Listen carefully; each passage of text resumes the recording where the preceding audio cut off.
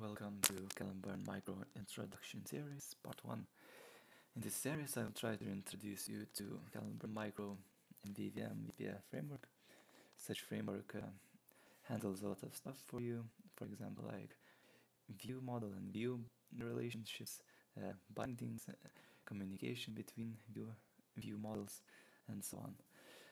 So this makes your project cleaner and uh, faster to start. Caliburn Micro is very light framework, as suggested by name, uh, but uh, it will handle almost everything you will need. So it's uh, very functional and, in my opinion, easy to learn. In the first part of this series, we will go over how to set up a new Caliburn Micro project. Okay, so I have, I have Visual Studio open, we go new, project, this is, by the way, 2019 Visual Studio, so project creation screen is a bit uh, changed. Go create project, we select VPF app project template, we click next. Uh, okay, we will call this Caliburn Micro Intro Part 1. Uh, okay, great.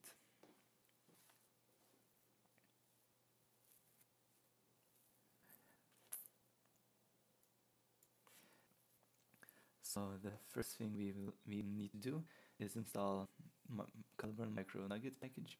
We go manage NuGet packages, browse for Caliburn Micro, and uh, the package we need is this one, Caliburn Micro. It has a lot of downloads. We click install. Okay.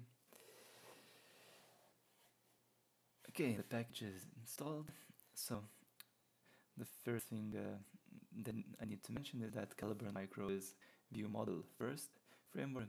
And that means uh, we specify the view model first, and the, the framework will resolve view uh, uh, by itself. So to start our project, uh, we need to remove this uh, main window Mm, as you've seen, the standard VPF application uh, uses view first approach.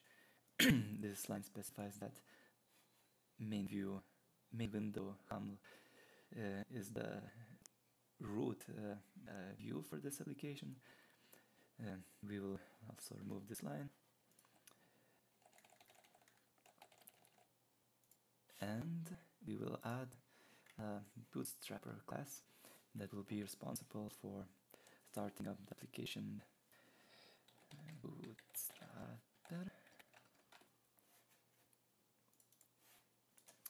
Uh, this class will inherit from Caliburn Micro uh, class. Uh, this.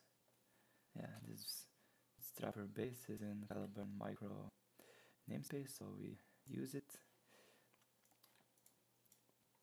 and uh, and the basic implementation for this bootstrapper class you can find in Caliburn micro documentation. So I'll just fill it up. In construction you need to call initialize method. Um, you can find all these methods in if you inspect uh, what is in this bootstrapper base class. Basically it's initialize. Then you have a lot of other methods. For now it is important uh, the startup method, we will override this.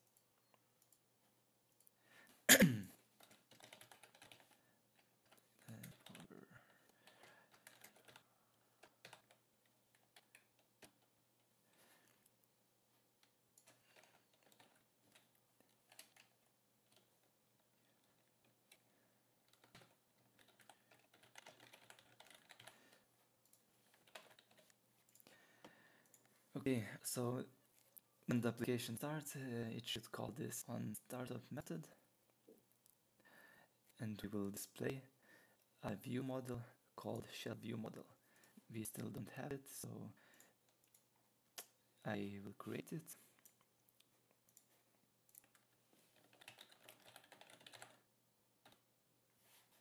Yes, for now, just we will leave just empty class.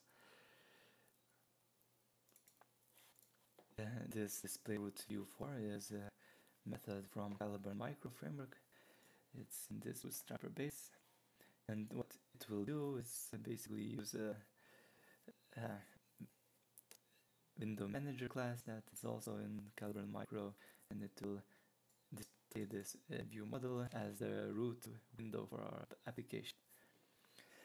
The next part is we need to specify that this bootstrapper needs to be initialized uh, in application resources otherwise it will not be run so we will write uh, uh this code resource dictionary.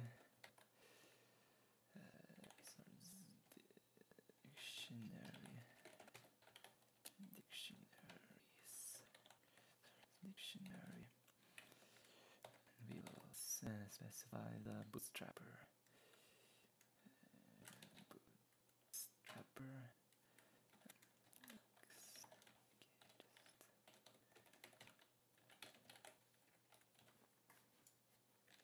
we uh, first need to build this uh, uh, application otherwise uh, it will not find the bootstrapper class that we just created this one so for now it seems everything is alright. When the application launches, it will try to create this bootstrapper class. When, the when it will be created, the constructor will be called and we have this initialize method and uh, this setups all the things uh, Micro needs to start your application. And, to, and then Caliburn Micro will automatically call this on startup method and what it will do is try to display shell view model. Let's try to run this application.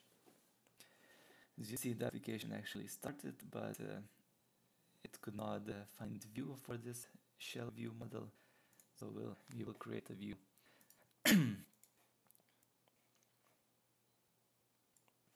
User control shell view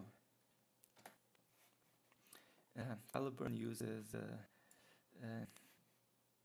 convention. Basically, it's an agreement how views and view models should be named for Caliburn Micro to uh, be able to resolve the view for view model.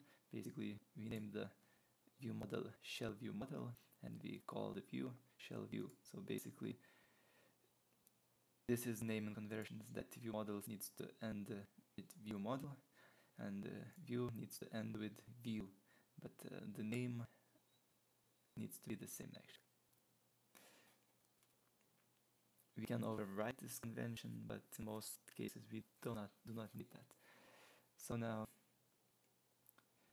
um, Caliburn Micro will be able to find this view for shell view model or the shell view model that it's trying to display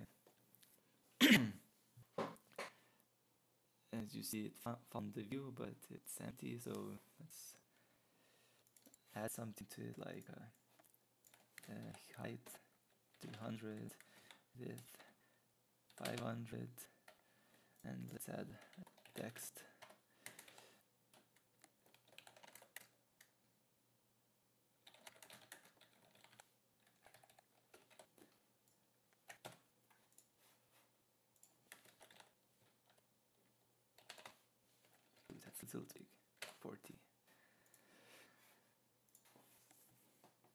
We run the application again and we will see this view.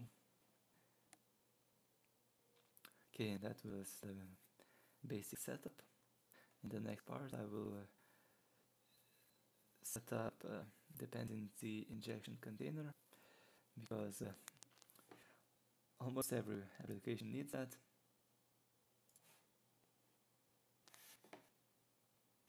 that's it. See you in part two.